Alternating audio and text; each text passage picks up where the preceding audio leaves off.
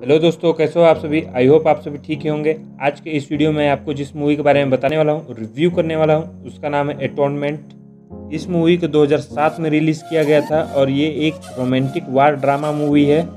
इस मूवी को एक नोवेल से लिया गया था, जिसे इयान मैकवेन के द्वारा 2001 में पब्लिश किया गया था। इस मूवी की आई रेटिंग 7.8 की है और इसे रोटन टोमेटो में 83 परसेंट फ्रेश बताया गया है। इस मूवी की स्टोरी मुख्य रूप से तीन लोगों पर फोकस करती है, जिसमें कैरा नेथली जो कि इसीलिए टैलिस के रोल में निभा रही हैं।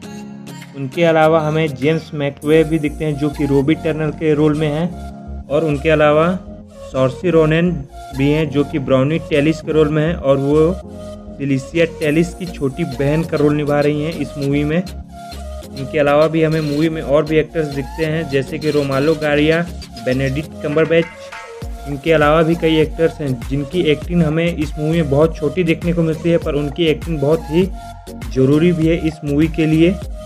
इस मूवी में सभी एक्टर्स की बैक स्टोरी बहुत ही अच्छी तरीके से दिखाया गया है, जिससे कि आप इस मूवी से कनेक्टेड फील करते रहोगे लास्ट तक।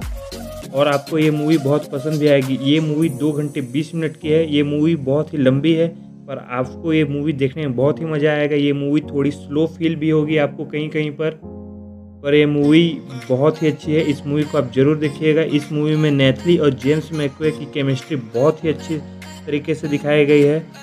और सॉर्सी रोनन को इस मूवी के लिए बेस्ट सपोर्टिंग एक्टर्स के लिए ऑस्कर नॉमिनेशन भी मिला है।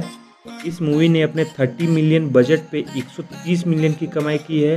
इससे अंदाज़ा आप लगा सकते हैं कि मूवी आपको कितनी पसंद आएगी। इस मूवी की एंडिंग बहुत ही ज़्यादा इमोशनल है। और भाई आप यकीन मानो, आप दिल से रो दोगे इसके एंडिंग पे। तो इस वीडियो में, इस मूवी के बारे में इतना ही। अगर आपको ये वीडियो पसंद आए होगे तो इसे लाइक करिएगा और इसे शेयर करिएगा ताकि आपके और भी दोस्त इस मूवी को देख सकें। इस मूवी को डाउनलोड करने के लिए आप मेरे टेलीग्राम चैनल को ज्वाइन कर सकते हैं, जिसका लिंक मैंने अपने डिस्क्रिप्शन में दे दिया है। वहाँ पर मैंने ये मूवी अपलोड कर दी गई है। और मेरे यूट्यूब चैनल को सब्सक्राइब कर दीजिएगा ताकि मैं इस तरह के और मूवी आपके लिए ला सकूँ। थैंक्स